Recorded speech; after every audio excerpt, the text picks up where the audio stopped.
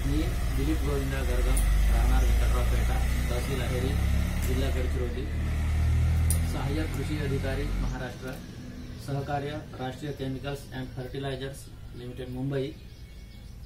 खरीप हंगाम बीज प्रक्रिया स्पर्धा. स्पर्धेमध्ये मी भाग घेतलेला आहे. आपण आर सी एच बायोला स्पर्धेमध्ये भाग घेतलेला आहे. आपण बीज प्रक्रिया करून दाखवणार आहोत. त्यासाठी आपण एक किलो धान घेतलेला आहे.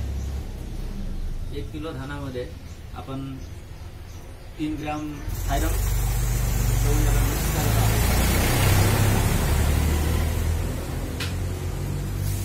ह्या प्रकारे आपण थायरम याला मिक्स करत आहोत.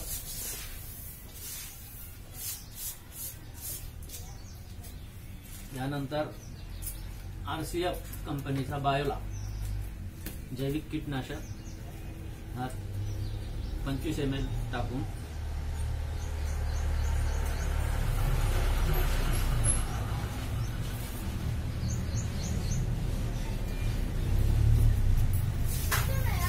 ह्या प्रकारे आपण सर्व मिक्स करत आहोत.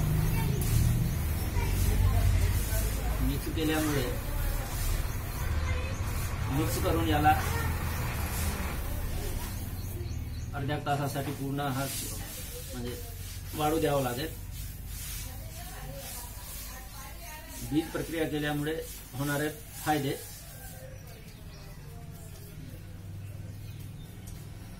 याला सावलीतच सुकवून ठेवणे आहे.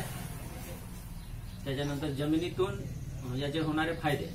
जमिनीतून व बियाणापासून पसरणाऱ्या रोगाचा प्रादुर्भाव टाळता येतो. बियाण्याची उगवण क्षमता वाढते व उत्पन्नात वाढ होते.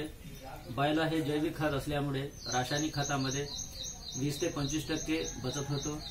बायोला हे स्फुरत विरघळणारे जीवाणू खत आहे. त्यामुळे जमिनीतील स्फुरत पिकांना दीर्घकाळ उपलब्ध होते. बायलामुळे पिकाच्या मुळांची जमिनीमधून अन्नद्रव्ये शोषून घेण्याची क्षमता वाढते. बायोला वापरल्यामुळे जमिनीचा जमिनीची पोल सुधारण्यास मदत होते. तरी मी ह्याबाबत सर्वांना सांगू इच्छितो की यावर्षी सर्वांनी आपण बीज करे बीज प्रक्रिया करूनच पेरणी करावी. धन्यवाद.